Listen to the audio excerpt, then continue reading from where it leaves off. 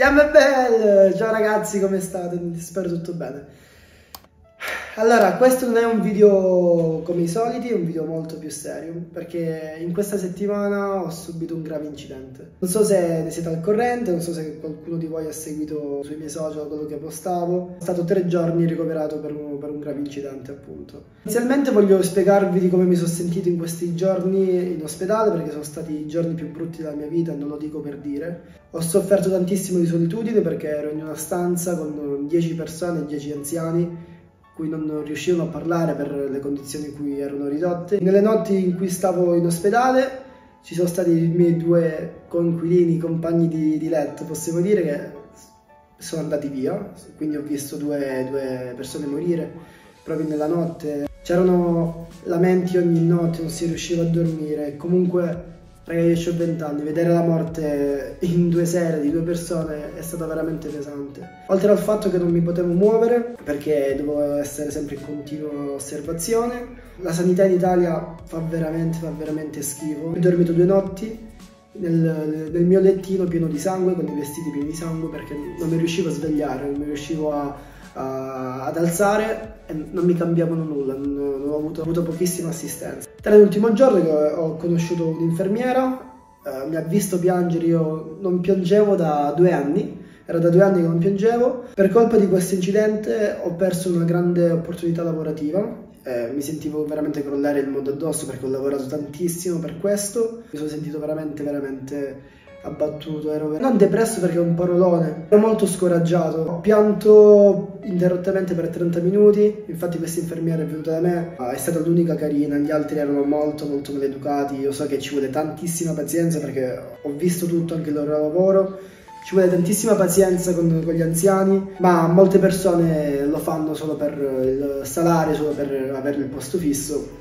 e non perché gli piace. Comunque, in questi giorni di ospedale io ho continuato sempre a lavorare, a editare video, a cercare di tenermi attivo sui social perché io, io non sono uno che, che molla, un ragazzo che gli succede qualcosa e si scoraggia. Sì, mi prendo quei 5 minuti, quei 30 minuti in cui sono abbattuto, che sono veramente a terra, ma poi cerco sempre di rialzarmi. La cosa che ho sofferto di più è stata la solitudine, in pratica ero l'unico ragazzo, quindi non potevo parlare anche di cose mie a nessuno in tutto ciò non riuscivo a dormire per eh, dolore che avevo, un dolore veramente atroce. Comunque, ora vi spiego un attimo come è successo il tutto. Sì, abbiamo visto che mi sono venuti a prendere con l'ambulanza, Nelson mi ha salvato, infatti grazie Nelson, è diventato il mio eroe, cioè mi ha salvato la vita, Nelson mi ha salvato la vita, non sto scherzando.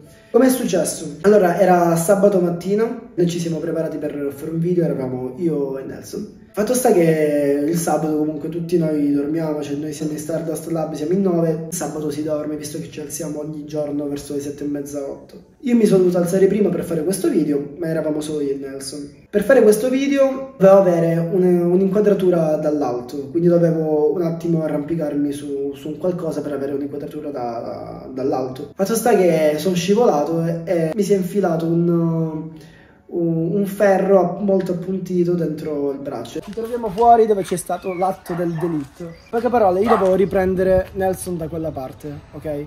Quindi da qui dall'alto, con il grandangolo dove uscire una roba figa. Sono salito qua sopra, si è rotto questo mattone e mi si è infilzato tutto questo, che è proprio questo qua il, il terzo, tutto questo nel braccio. Mi è entrato, come ho detto, dal gomito ed è uscito dall'ascella. E poi Nelson, io qua ero a penzoloni, cioè i miei piedi non toccavano terra.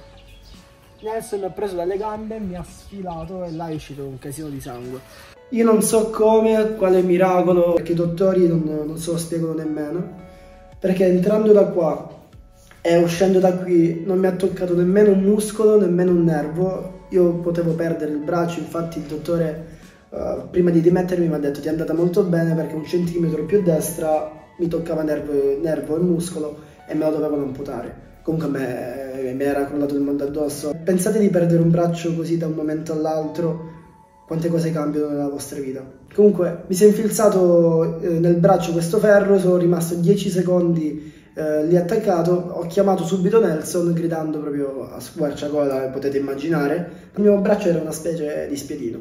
Eravamo tutti e due in eh, scioccati, cioè comunque è una cosa che vedi solo nei film. Ho preso un attimo il, il comando, gli ho detto stringimi il braccio, farmi uscire sangue e lui è rimasto 40 minuti a stringermi il braccio ed è, è stato veramente faticoso per lui. Lui mi diceva tante volte sto per mollare, sto per mollare, ma ci facevamo coraggio a vicenda.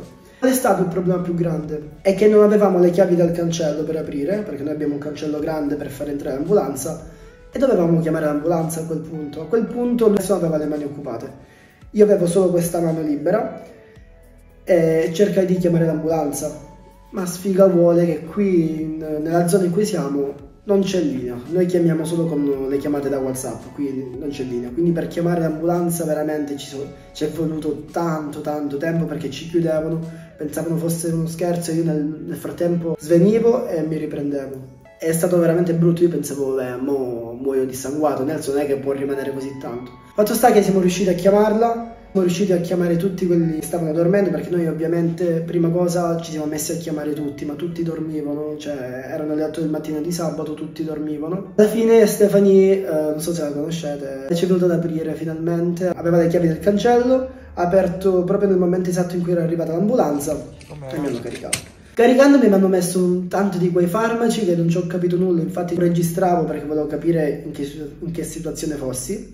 Arrivata all'ospedale una cosa veramente scioccante, raga, ma veramente scioccante, è arrivato che io avevo il braccio frantumato, io non so se poi posso mettere, la foto non la posso mettere, no? Quella del braccio, non lo so, vabbè. Comunque, arrivato in, in ospedale, il primo infermiere che mi ha visto mi ha chiesto una foto.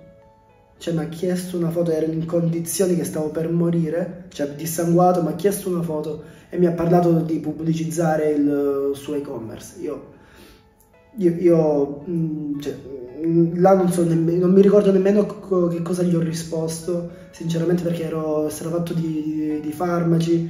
Comunque, siamo arrivati al punto che mi dovevano mettere i punti, visto che questo ospedale era un ospedale universitario, hanno preso da cavia. Le parole, i punti sono stati messi da una persona che non li aveva mai messi Infatti c'era il dottore che gli spiegava come farlo. Io ho sentito tutto perché si sono dimenticati di mettermi l'anestesia.